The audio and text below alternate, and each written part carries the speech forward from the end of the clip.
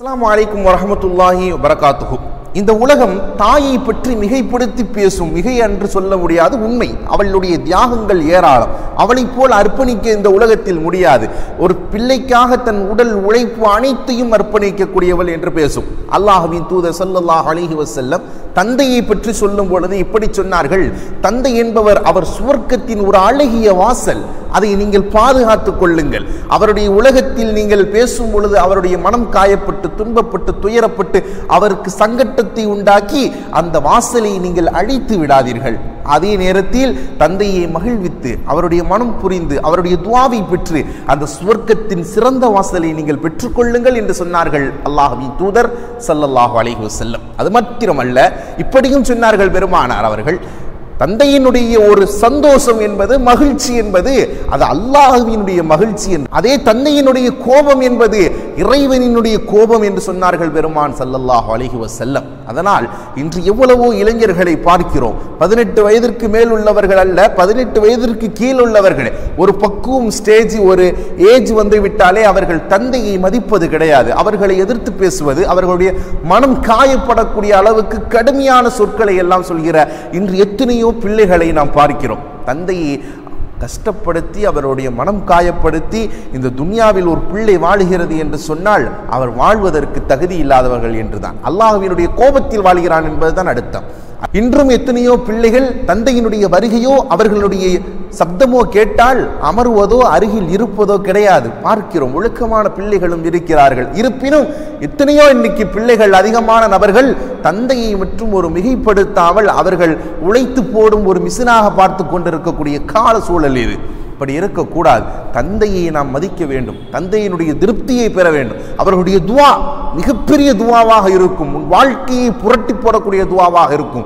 அந்த துவாவை நாம் பெற்றுக்கொள்ள வேண்டும். ஒரு தந்தை என்பவர் அவர் இந்த உலகத்தினுடைய எது நல்லவை எது கெட்டவை பகுத்தறிந்து உன் வாழ்க்கையை நீ ஓட்ட வேண்டும். நீ வாழ்க்கையில் மிகப்பெரியவனாய் சிறந்தவனாய் வாழ வேண்டும் என்று மிக பேராசை கொன்றவர் ஒரு தந்தையாகத்தான் இருக்க முடியும்.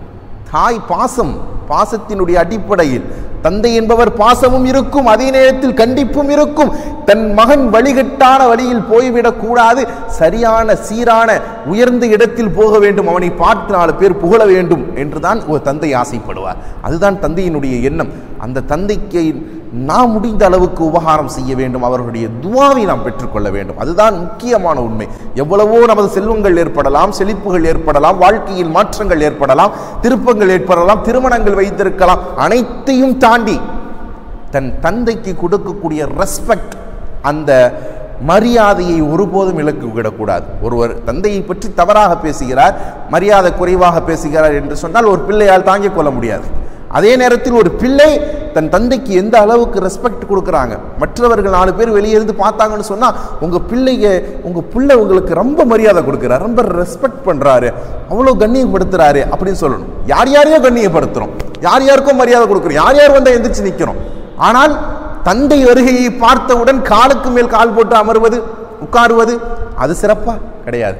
முதல் நீ மரியாதை கொடுப்பவர்கள் யார்? தகுதியானவர்கள் தந்தையாக இருக்க வேண்டும். உன் தந்தை எங்கிருந்து வருகிறார் என்றால் எழுந்து நிற்க வேண்டும். அவர் பேசுகிறார் என்று சொன்னால் அவருடைய வார்த்தைக்கு கம்மியாகத்தான் ஒருபடி கம்மியாகத்தான் பேசணும். வார்த்தையை உயர்த்தி பேசுவதோ அவருக்கு முன்னால் அமருவதோ அவரை எழுத்து பேசுவதோ அது கண்ணியமோ அது சங்கையோ அது அவருக்கு கொடுக்கக்கூடிய மரியாதையோ கிடையாது என்பதை புரிந்து கொள்ளுங்கள்.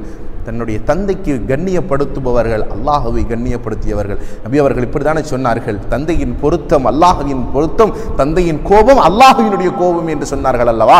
அதே போல் நம் வாழ வேண்டும் நம் தந்தையினுடைய அன்பை பெற்றுக்கொள்ள வேண்டும். நமது தந்தையினுடைய பின்னால் அவர்களுடைய உழைப்பை புரிந்து அவர்களுக்கு நாம் மரியாதை செலுத்த வேண்டும். அல்லாஹு ரபுல் ஆலமீன் அப்படிப்பட்ட நசீபை நம் அனைவர்களுக்கும் தருவானாக. அஸ்லாம் வலைக்கம் வரமத்துல்லாய் வரகாத்து